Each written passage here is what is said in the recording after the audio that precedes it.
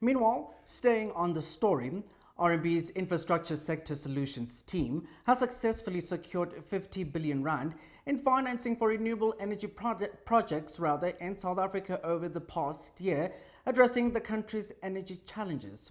The bank has provided essential funding for initiatives like the Renewable Energy Independent Power Producer Procurement Program and the Risk Mitigation Independent Power Producer Procurement Program, as well as private sector projects.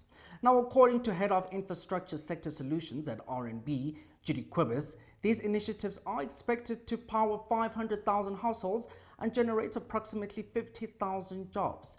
Additionally, RMB is investing in significant grid upgrades to enhance connection capacity and plans to support further investments in overhead lines through the new Transnational Transmission Company of South Africa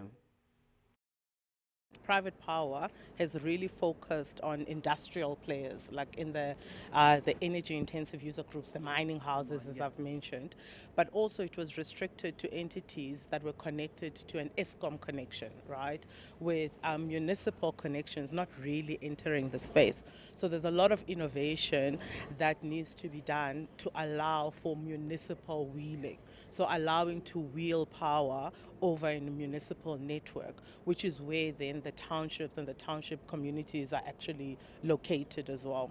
So, so RMB is working with a number of IPPs who are looking to unlock this, um, and we're looking for at solutions around unlocking municipal wheeling.